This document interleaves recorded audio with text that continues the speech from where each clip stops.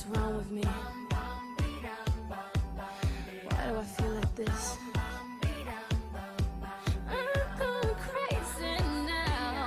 Hello. I walk by these kids using their phones all the time, and I'm just wondering do they know what they're doing to their necks? Their necks must hurt as soon as they look up. They can't even get their necks up in the first place. I don't use my phone that much for that reason. I value my neck.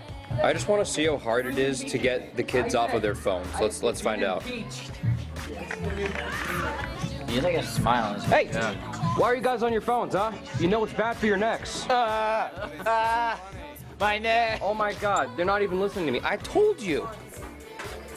Ah, I can't get my head up. Oh my God, we need to help this guy. He's- Oh my God. There we go. Are you okay? Thank you. That's what you need for tech addiction. Oh my God. So I'm here with Matt. Um, Matt, what do you think about tech addiction and people looking at their phones all the time? Um, let me rephrase that. What do you think about people who look at their phones and end up with injuries and therefore have to go to the chiropractor and then become deprived of their injuries? Did you see this video?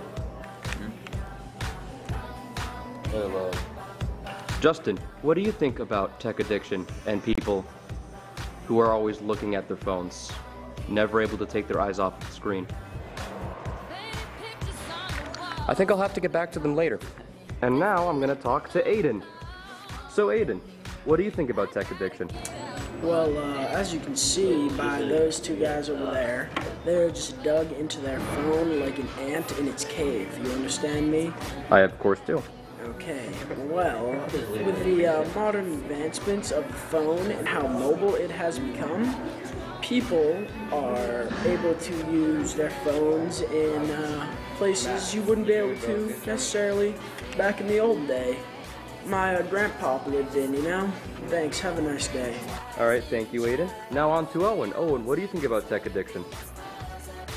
All right, I don't think I'm gonna get anywhere now. Ying Ying, what do you think about tech addiction and people on their phones? How has your life changed since your addiction to technology? Life's been so lonely.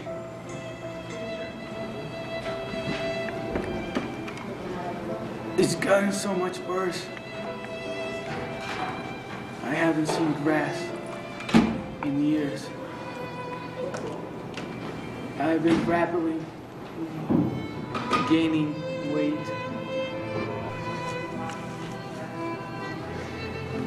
Technology has ruined my life. All right, I think this sums up tech addiction for now.